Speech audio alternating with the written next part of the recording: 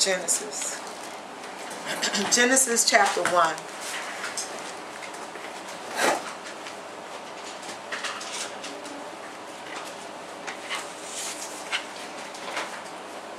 Genesis chapter 1. God is a really good God, and we have to purpose in our hearts to love Him with every strength and fiber of our being.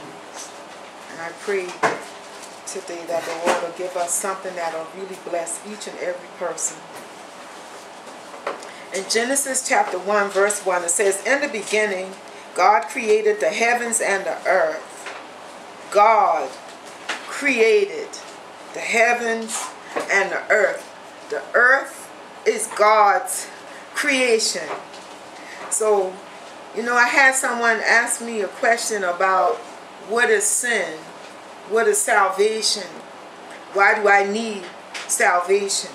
So, if God created the heavens and the earth, then it's God who gets to set the rules and the regulations of how we are supposed to live in the earth. Turn to Psalms. I want to give you two or three witnesses. Psalms 24.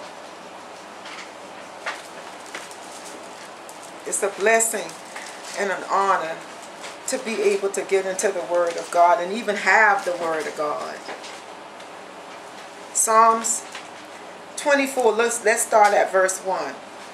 It says, The earth is the Lord's, and the fullness thereof. So the earth and everything in the earth belongs to God who created the earth, and they that dwell in it. So they who dwell in the earth also belongs to the Lord, not to the devil.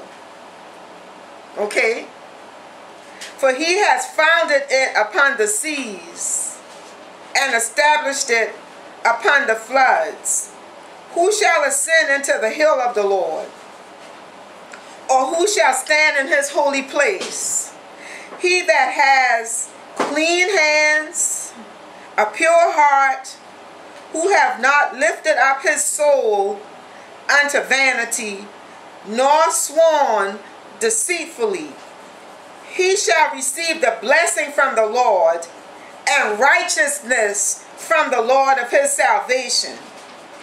He shall receive the blessing from the Lord and righteousness from the God of his salvation. Now let's turn to Acts. Acts chapter 17. This used to be one of my favorite scriptures.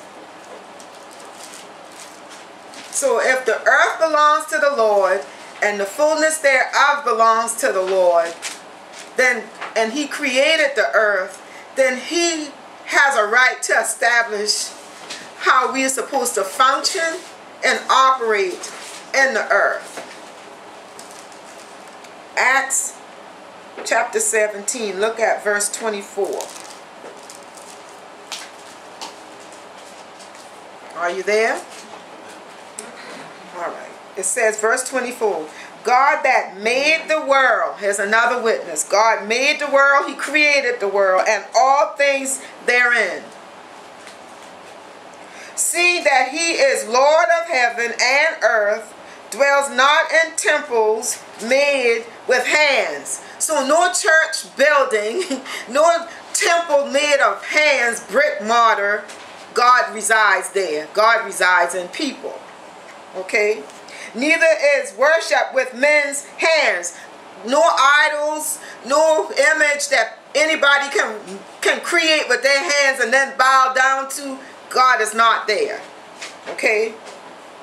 It says, neither is worship with men's hands as though he as though he needed anything, seeing he gives to all life and breath and all things and has made of one blood. This is one of the points I really wanted to make because I think it's foolishness and it's downright evil for the Sadducees and the scribes and the Pharisees, the spirit that's in people today, who was in people during the time that Jesus walked, would take the position that Jesus came to this earth and he only came for the Hebrews or the Israelites. And that continues to be a fight, a controversy, and no matter how much you show in scriptures, people don't want to accept this fact. So this scripture is saying, and he has made of one blood human beings, all nations of men, for to dwell on all the face of the earth, and has determined God, who created the heavens and the earth, has determined the times before appointed and the bounds of their habitation, that they should seek the Lord. The purpose God created human beings for is that they should seek the Lord. If happily they might feel after him and find him, though he be not far from every one of us. For in him, God, we live and move and have our being as certain also of your own poets have said, for we are also his offspring.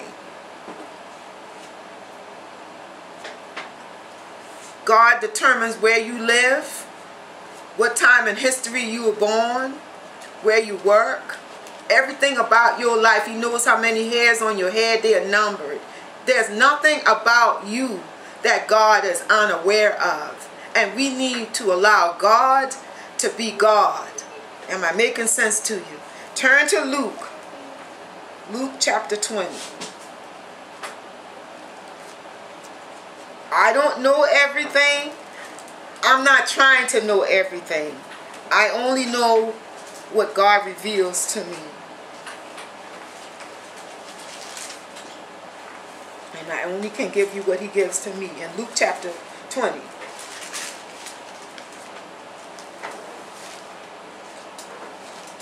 Thank you, Father. This is a parable of the vineyard. It says, then, verse 9, then began he, Jesus, to speak to the people this parable.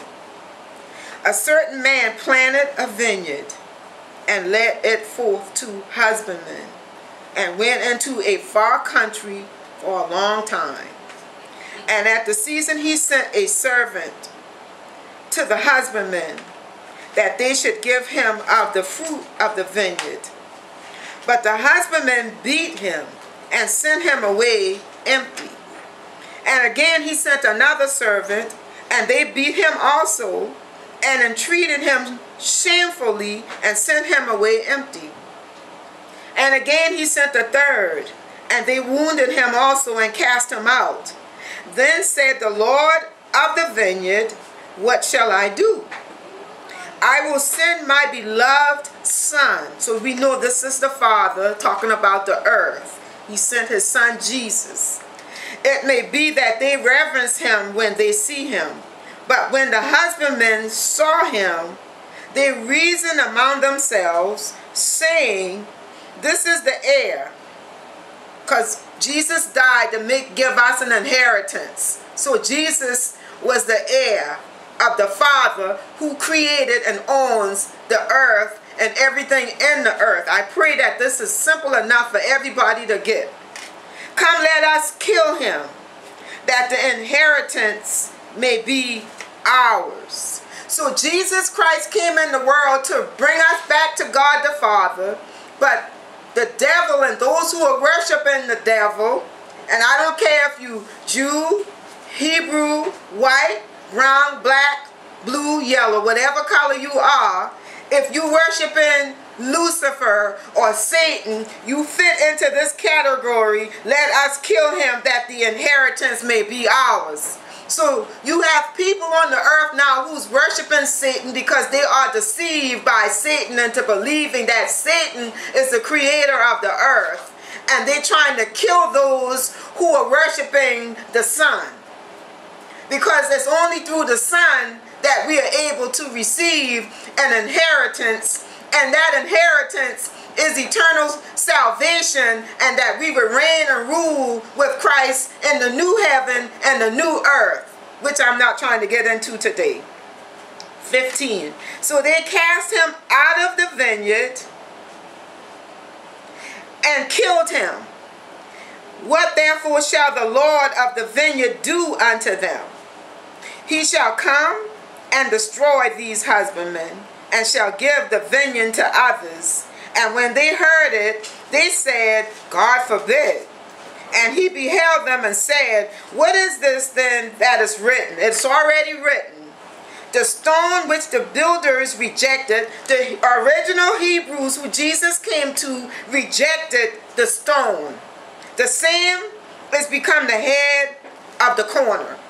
Whosoever shall fall upon the stone shall be broken, but whomsoever it shall fall, it will grind him to powder. So when we fall on Jesus, who is the rock, the stone, he breaks us. He breaks the old sin nature off of us because we fall on him on purpose. We exercise our free will to choose to fall at our feet, fall on his at, on our knees at his feet, to worship him, to honor him, to exalt him, to magnify him, to have him cleanse us, redeem us, wash us, create in us a new creation in Christ Jesus. When that happens on purpose, we're not going to be pulverized or broken. But those who reject him, this scripture says, whomsoever, whosoever shall fall upon the stone shall be broken. But whomsoever it shall fall, it will be grind to powder. You see it. This is the scriptures. This is written in red, so we understand. We've been programmed and conditioned to believe this is Jesus speaking when we read it in red. So my Bible has this written in red. This is the words of the Son that the Father who created and made the heaven and the earth and everything in it, it's Him who is speaking. Am I making sense to you? Now let's turn to Psalms again, Psalms 2. Because this is, you got people who saying, I don't need to ask for forgiveness for my sin. What is sin? Sin is going against God's instructions of how we're supposed to live in this earth that he created. Is this clear enough? Mm-hmm. All right, let's look at chapter 2, verse 3. And this is what people today are saying. And this has been predicted that what the people was going to say. Verse 3, let us break their bands asunder and cast away their cords from us. They don't want to be controlled by God. They don't want to be led by God. They want to do their own thing. All right. Let's turn to Galatians. I don't want to be proselytized. I believe the Bible is the Word of God. I'm going to live according to it the best of my strength and understanding. I understand there's some supernatural things taking place, but thanks be to God, a lot of it He had already taught me. So in Galatians 3, and if we have the living Holy Spirit in us, He will lead us and guide us into all of God's truths. God's truth. Okay? God's truth, not man's truth. I'm not interested in becoming a part of another type of religion. I believe in the Messiah. I believe the Bible is an inspired word of God for correction, for reproof, and for doctrine. I'm doing the best I know and understand how to be a witness for the Most High God. All right? Galatians chapter 3. I'm not picking and choosing what part I'm going to believe. Verse 13. Christ has redeemed us. Redeem means to buy back. Because when Adam and Eve sinned, the world that God created fell. The sin nature was birthed into the earth. And every human being who came in the world after Adam and Eve came in the world spiritually disconnected from God the Father. And that's why Jesus came in the earth to die. He was a blood sacrifice to redeem us, to buy us back with his blood, that we would have a relationship with God the Father and have eternal salvation. All right? Christ has redeemed us from the curse of the law, being made a curse for us. For it is written, Cursed is everyone that hangs on a tree. Jesus hung on a tree. That the blessing of Abraham might come on the Gentiles through Jesus Christ, that we might receive the promise of the Spirit through faith. Jesus died not to make us financially rich. Jesus died to give us eternal salvation and to redeem us, to buy us back. I'm sure a lot of people understand when you go to a pawn shop, you don't have enough money, so you have a piece of valuable, you take it into the shop, they give you some a little bit of money for the whatever the item is. Then when you go back to redeem the item, you get the item back in, in exchange for the money you get you got from the people. Well, Christ poured out his blood to pay us back from Adam and Eve giving us away to the enemy. Am I making sense? Is this clear enough? All right. Let's turn to 1 Corinthians. 1 Corinthians chapter 6.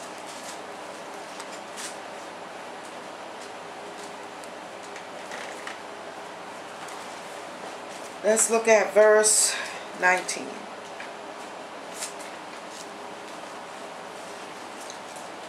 And what I'm about to say now, I think is extremely important. Verse 19 says, What? Know you not that your body is the temple of the Holy Ghost which is in you, which you have of God?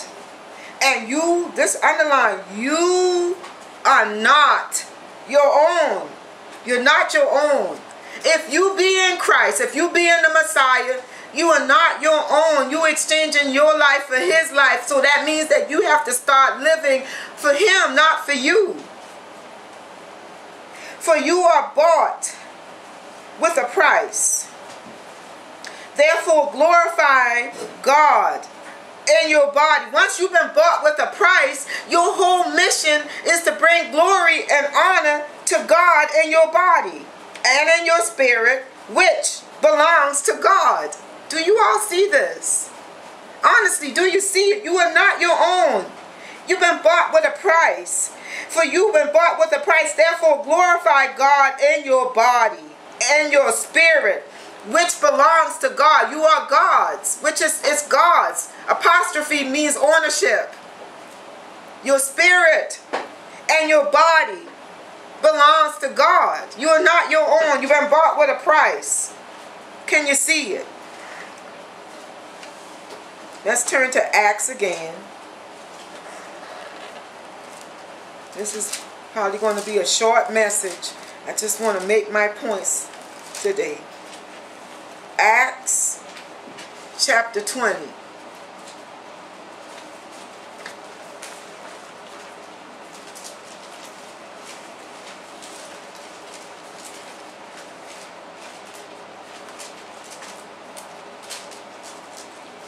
Technology is really coming against us today.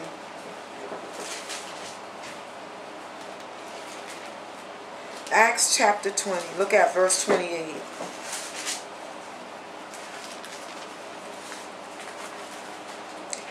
It says, Take heed,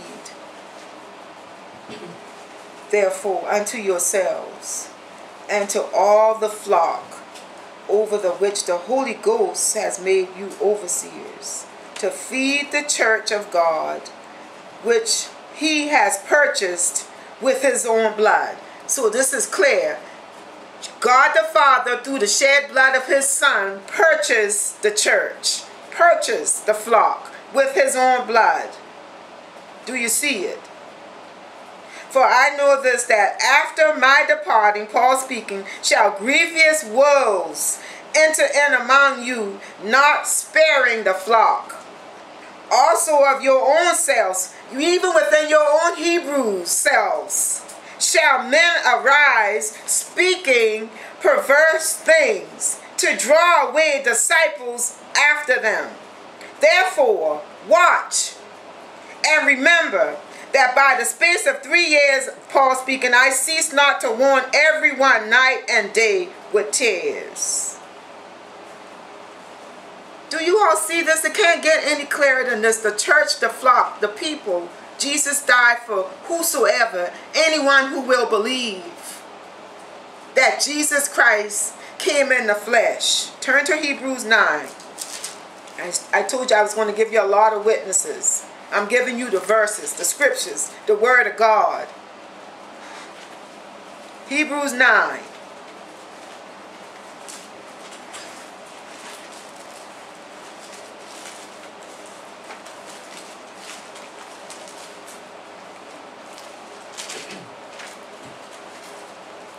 Hebrews 9. Look at verse 12.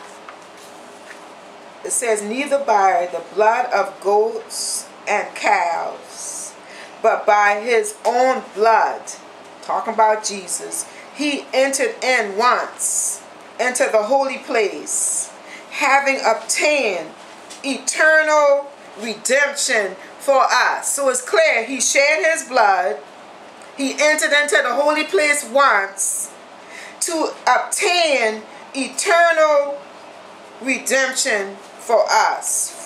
For if the blood in the law of bulls and goats and ashes of an heifer sprinkling the unclean sanctifies to the purifying of the flesh, how much more shall the blood of Christ, who through the eternal Spirit offered himself without spot to God, purge your conscience from dead works to serve the living God. Bulls and goats couldn't sanctify us. We are under a new covenant. And we have been bought with a price, the shed blood of Jesus. We are not our own. And because we are not our own, you're being deceived. If you continue to live your life the way you did live your life before you became a believer in the Messiah and the anointed one, in Christ, the anointed one. That's what Christ means, anointed. Okay? If you're still living and you're doing still doing all of the same things, you're still defiling your soul and your temple, you're being deceived because you're not your own. If something supernatural has happened in your life, you should be thirsty and hungry to understand and know your Redeemer. You should want to know him.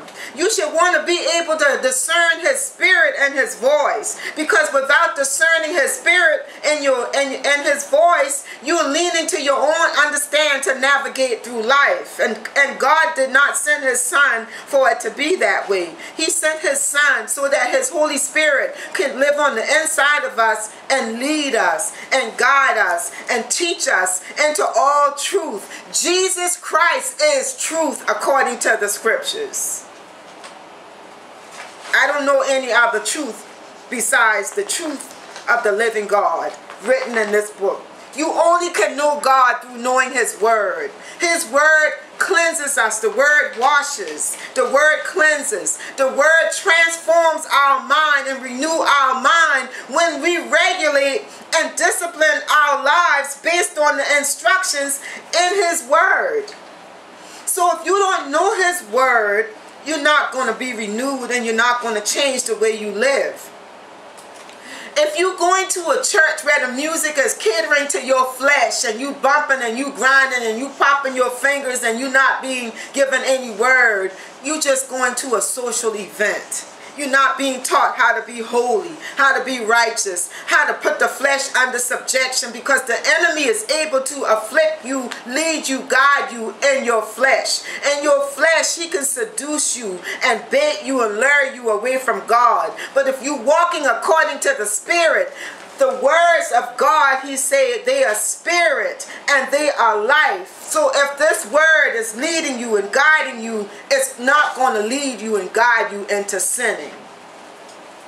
If you understand that you've been bought with a price and you're not your own, then you should no longer be living to please the flesh. There's a war going on between the flesh and the spirit. They are at war with each other.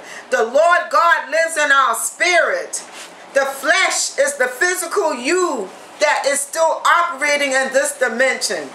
You, by your spirit being renewed, have power and authority over your flesh. So if your flesh say I'm tired and I don't want to go anywhere and I don't want to fellowship with the saints, your spirit can say you need to go. Which one you obey is the one who have authority and power and rule over you. You have more power than you realize. Turn to 1 Corinthians uh, let's see where I want to go. The kingdom of God has power. 15. Uh, first, uh, no, I'm sorry, 4. 1 Corinthians 4. Thank you, 1 Corinthians chapter 4. And look at verse. Most people don't know this verse of scripture even exists. Verse 20. For the kingdom of God is not in word, but in power. The kingdom of God in you, the Holy Ghost in you, has power to overcome the works of darkness, to resist darkness, submit to God, resist the devil, and he'll have to flee from you.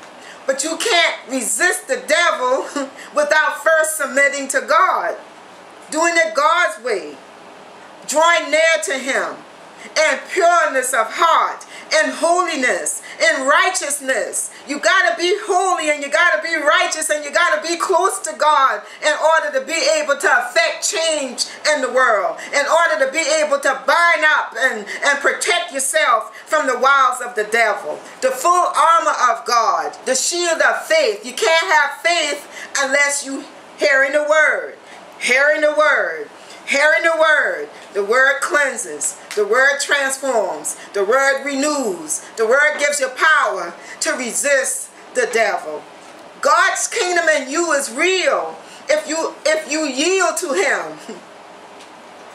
If you fight against the urges of the flesh and allow the Holy Spirit of God to rule and reign in your life, that should be an honor to us if we've been born again. Now I want to switch gears a little bit and tell you a little bit about what the gospel is. Because most people don't know what the gospel is. Let's turn to 1 Corinthians 15. The word gospel means good news. Good news is not that you're going to be rich. but good news is that when you when you die, your soul is not going to go to hell. The enemy has convinced people that hell and heaven are not real. You believe it by faith. God says it's impossible to, to please him without faith. So by faith, I'm going to live my life on this earth like I want to avoid hell. And the gospel is 1 Corinthians 15 1, the gospel that Paul preached. Because the gospel, we are under grace. We are no longer, I believe, under law. And that doesn't mean that we have freedom to sin. We are held to a higher standard being under grace because the living God now is on the inside of us. And we ought to understand that everything we think or do that displeases God, He's right here in us. And that should matter to us. We shouldn't want to sin. We shouldn't want to take God's presence in us in places that you know God wouldn't be pleased in going to, or you shouldn't commit acts that you know God wouldn't be pleased in you committing. God is not happy when we sin because he gave us a way out. The Holy Spirit of God is strong enough, the power of God is strong enough to help us to not sin against God. And I want to make that clear, okay? Verse 1 says, Moreover, brethren, I declare unto you the gospel, the gospel which I preached unto you, which also you have received, wherein you stand, by which also you are saved by believing in this gospel. If you keep in memory what I preached unto you, unless you have believed in vain. For I delivered unto you first of all that uh, which I also received, I, Paul, received from Christ, how that Christ died for our sins according to the scriptures. Christ died for our sins according to the scriptures. That he was buried. This is what you got to believe. This is what the gospel is. And that he rose again the third day according to the scriptures. And that he was seen of Cephas, then of the twelve. And this is not the gospel, but I'm going to add this. That he was seen above 500 brethren at once. After he had been crucified, 500 people saw Jesus alive again. At once. They all together saw him at once. And some are still alive at the time of this writing. Paul's writing. Am I making sense to you today? You can't live any old kind of way. And we're living in some times when witches and warlocks and sorcerers are coming hard after the people of God. And if you lukewarm, the enemy is going to take you out prematurely. The enemy wants to steal, kill, and destroy as many people's souls as he can. But we are here to do God's bidding in the earth. That means we have to have such a close walk with him that he'll we'll know when he's telling us to turn to the left or to the right. No witch, no wizard, no warlock is mightier and stronger than the power of God operating in a real believer's life. You might be afflicted. You might get one of the fiery darts might come against you but you need to get up and keep moving forward. And we need to pray for each other. Pray without ceasing. We've been instructed to pray without ceasing. Praying always with all kinds of prayer. Praying all the time. These words are not in the scripture just to be filling in the Bible. They're telling us what we need to do. But we've been so programmed to watch TV all the time or listen to music all the time or watch, go out and have fun and have a good time. We are not interested in understanding and living in a way that like we've been bought with a price. We don't live like we are not our own. We continue to do what we want to do to the point that no one really comes together too much to pray and worship God and honor God and seek the face of God. Acts 17 26 should be all of our beliefs. We should all say, it's in Him we live, move, and have our beings. That's what a born again, Holy Ghost filled, bought with the blood of Jesus Christ person should be doing. It's not about what you eat and your hair and all of it. It's about your heart, the inner you, the part of you that believes or not believes. Am I making sense to you all today? God is good.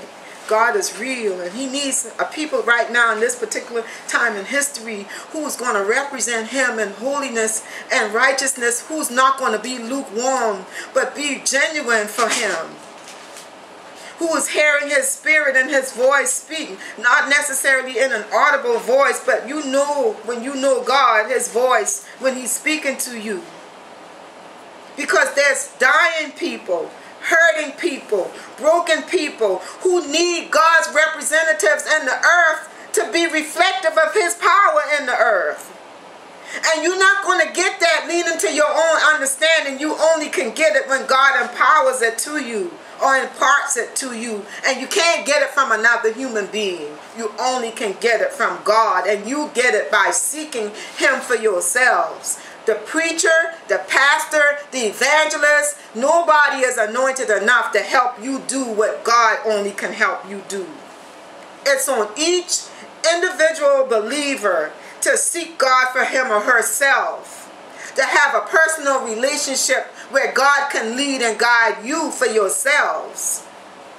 And I want to encourage everyone today to pray for wisdom and discernment. For without wisdom and discernment, you will be led by a counterfeit spirit and you can be led straight to hell. So I pray that this makes a difference for you. Let's go to Romans chapter 1.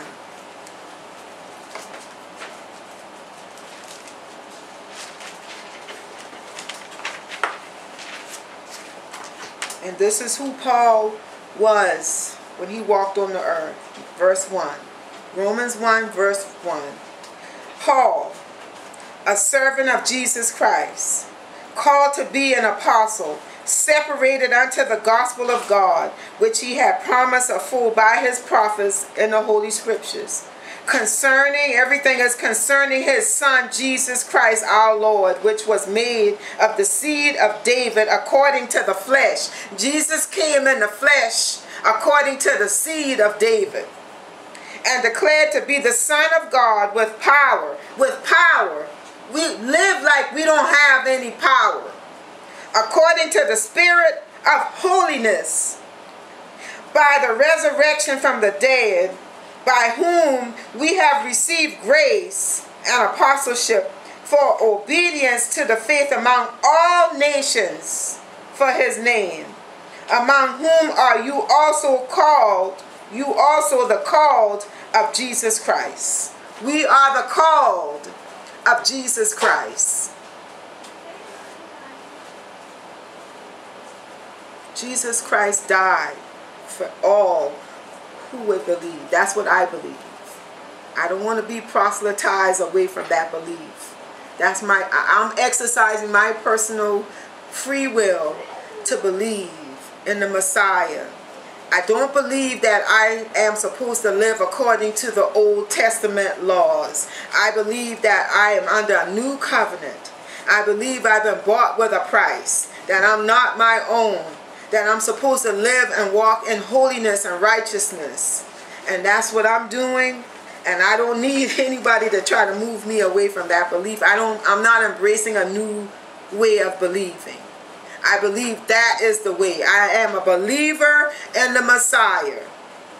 Christ means anointed one.